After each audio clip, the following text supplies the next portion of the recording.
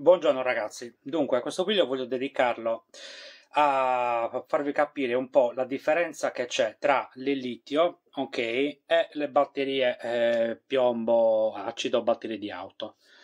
Allora, ehm, per chi mi scrive, ecco una cosa molto importante, per chi mi scrive, ma perché non hai messo il litio? Ma conosci il litio? Allora, io ci lavoro con il litio, io ho un laboratorio di droni, quindi il litio le conosco da vent'anni, le so usare, le so smontare, le so rimontare, conosco i pregi e conosco i difetti. Quindi, partendo da questo presupposto, ehm, il, mio, il mio pensiero sul litio è questo, che finché si tratta di eh, essere costretti ad usarla, nel senso che eh, dobbiamo mh, mm, usarle in un posto o in un luogo o in una situazione in cui abbiamo prima di tutto necessità di leggerezza e di mm, compattezza. E comunque di una densità energetica molto più grande perché comunque la verità è che è vero loro sono molto più efficienti di loro assolutamente. Infatti se voi guardate tipo questa è una cella al litio, questa è una batteria al litio, cioè scusate, questa è una batteria al litio perché la batteria al litio, ricordatevi che non è questa, ok? O non è, o non è questa, la batteria al litio è questa, ok? Al loro interno, al loro interno, all'interno di questa o di questa o di quelle comunque chiuse, ci sono sempre queste signorine qua, sono le celle, ok? Questo sia che sia a litio ferrofosfato, sia che sia a litio, polimeri di litio, ioni di litio. Dentro ci sono comunque delle celle, degli, dei componenti. Ok, la, la batteria vera e propria è questa. Quindi, eh, nel vostro pacco batterie del vostro impianto fotovoltaico ovviamente sarà almeno 12, 48, 24 volt, quindi ci saranno tante di queste, ok? Quindi non avete una unica e pensate che è una sola batteria. No, all'interno, vedete come sono fatte? Sono tutte collegate insieme. sia in serie, sia in parallelo, questo è un altro tipo di discorso, però la cosa principale che vi volevo far notare è questa, che le batterie a litio non sono mai come si presentano, soprattutto quelle che montano sugli scambi sul posto, tipo le Huawei, tipo le Azzurro, tipo questo tipo di batterie che sono già chiuse e sembra un'unica batteria, assolutamente non è così perché all'interno ci sono queste, ok? Quindi, ripeto, la differenza principale è questa, che mentre una batteria al piombo acido è una e basta, e qua abbiamo 12 volt pronti, qua abbiamo tante di queste per fare 12 volt, 24 volt, 48 volt. Ok, quindi questa è la differenza principale. La seconda differenza principale è questa, che io per caricare il litio, appunto perché non posso caricarle come quelle della, della macchina, che vedete c'è un caricabatteria normale di auto da 10 euro, positivo e negativo, via, la carica inizia, ok? No, con il litio non funziona così. Con il litio funziona in questo modo qua. Adesso prendo questo caricatore da modellismo professionale, dove vi fa vedere proprio cosa succede durante la carica. Allora, dunque, questa è una batteria 6S, vuol dire che ha 6 elementi dentro. Ogni elemento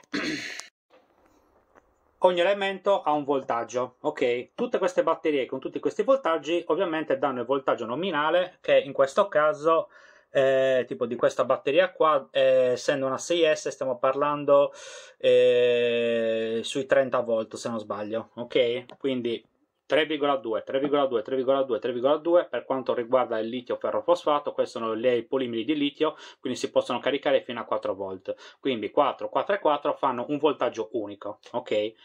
Il problema del litio è questo, che ripeto, quando voi le mettete a caricare, e vedete, lo vedete anche da qua, lui mentre le carica tutte insieme, nel contempo deve anche bilanciarle.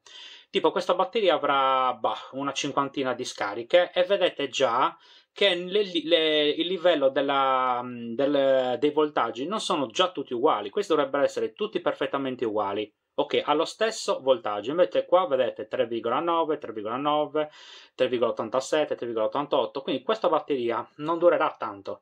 Ok, è vero, è stata usata in uh, droni da gara, però comunque eh, il discorso è quello che le batterie a litio, al contrario di quello che dice la gente, eh, hanno una vita, hanno una morte e il problema è che se una di queste celle, se una sola di queste celle che compone il pacco viene a mancare o, o, il, livello vo- o il, livello del voltaggio mh, cambia in tantissimo in confronto alle altre, il pacco è inutilizzabile, non potete più utilizzarlo.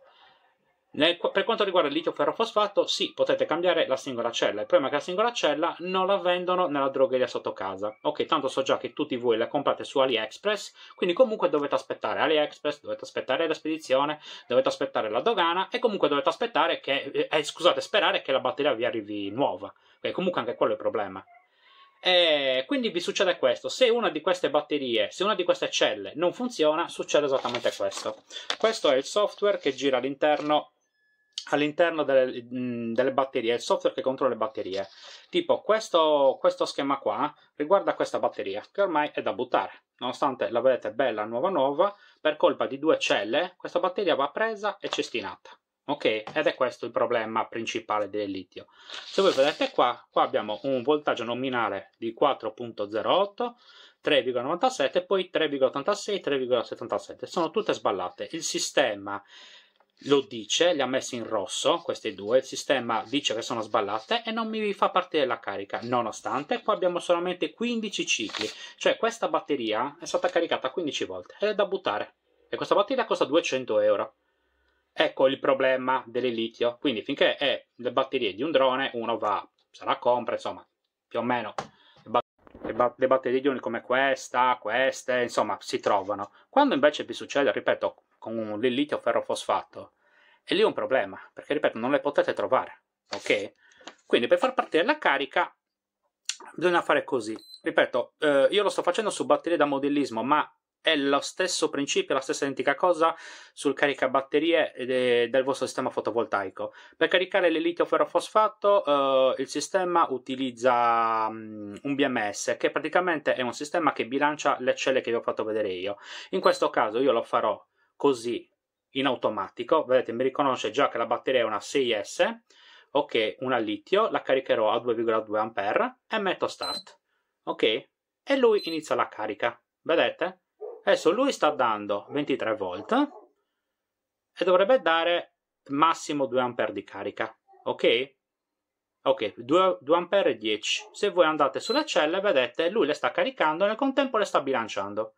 Questo sistema qua, nel vostro sistema fotovoltaico, lo fa il BMS, che è un computer a parte, è proprio un vero e proprio computer. Eh, c'è un software, ha processori, è un vero e proprio sistema a sé. Cosa che invece nelle piombo, nelle piombo di macchina, non esiste questa cosa, perché come vi ho fatto vedere io, più o meno e via. Vedete, più o meno e via. Ok? Non dovete fare niente. Quindi anche il sistema che monterete nel vostro sistema fotovoltaico non avete bisogno di un BMS, potete solamente caricarle con un positivo e un negativo, tra parentesi, come si suol dire, alla vecchia maniera. Quindi, quando voi mi dite mm, perché non monti il litio, per questo, esattamente per questo motivo qua. Esattamente per questo motivo qua, perché comunque, ripeto, queste sono tutte batterie rotte da buttare, tutte, tutte. Qua ci sono almeno un migliaio di euro di valore da buttare. E ripeto, quando lo fate su un sistema fotovoltaico, il problema è che non avete, ripeto, subito eh, chi, chi, il, il, venditore che ve la compra sotto casa. Quindi, ripeto, il litio, che siano ferrofosfato, che siano ioni, finché dovete far volare un drone, finché dovete far volare, esempio, un elicottero come questo, dove comunque siete costretti ad avere poco spazio e molta leggerezza e molta densità energetica, siete costretti purtroppo a, a andare sul litio perché loro non possono avere quella compattezza. Ma quando dovete, eh, eh, ma se avete spazio, se avete possibilità, ripeto, di di, insomma, di, di, di, arrangiarvi in qualche modo. Se avete una taverna, se avete un ripostiglio, io quello che vi consiglio io è, è l'oro. Ok, questo è proprio un fatto tecnico che vi, vi volevo far vedere dal vivo, perché ripeto, io le litio le conosco, quindi ecco perché non le ho scelte per il mio impianto. Eh, questo è il primo motivo. Poi il secondo motivo principale è purtroppo il prezzo, perché comunque il prezzo è molto importante. Adesso io nel mio sistema fotovoltaico ho rivoluzionato il pacco batterie che vi farò vedere, ma anche se l'ho rivoluzionato sono sempre andato su piombo acido di auto.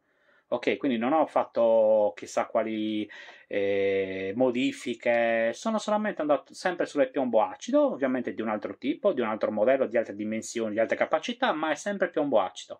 Perché secondo me, per quanto riguarda i sistemi fotovoltaici, se non avete grosse pretese e se non avete, anzi, se avete spazio disponibile, secondo me è la scelta migliore.